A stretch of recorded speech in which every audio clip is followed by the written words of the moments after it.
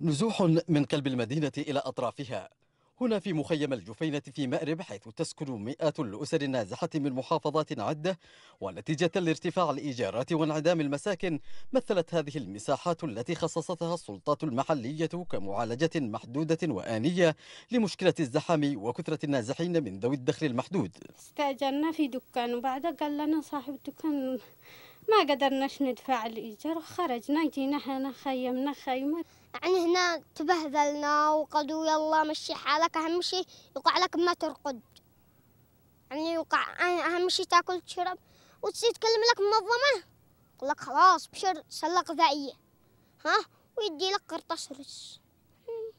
ما هذا يعني إحنا نشتي ما يغطينا من المطر من الريح. المطر يعني وضع معيشي غاية في الصعوبة والتعقيد يواجه الناس هنا حيث تتكشف الاحتياجات الأساسية وتتلاشى إمكانية العيش وسط مخاوف كثيرة من انتشار الأمراض والأوبئة فضلا عن الانطفاءات المتكررة للتيار الكهربائي مع حلول فصل الصيف لتبدو المخيمات والمنازل الطينية التي سمح بإنشائها مؤخرا أشبه بأفران ملتهبة تلفح ساكنيها.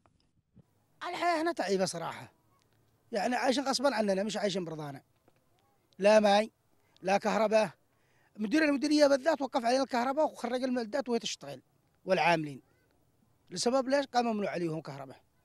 لحد الآن إحنا نعاني من الكهرباء. ثاني برامج القمامة ما في ما فيش. المياه ما يصلش لعندنا صرف صحي ما فيش إلا نهائيا. لا يزوروا عنا أي مخيم صحي. ولا يجوا يتفقدوا الناس. تبدو المساحات ممتلئة ومزدحمة في ظل إقبال كثيف ومتواصل من قبل النازحين الذين تزداد أعدادهم وتقل إمكاناتهم المعيشية خصوصا شريحة الملتحقين بقوات الجيش الوطني الذين تغيب مرتباتهم لشهور طويلة غير أن الجهات المعنية أصبحت تمانع في استقبال حالات جديدة.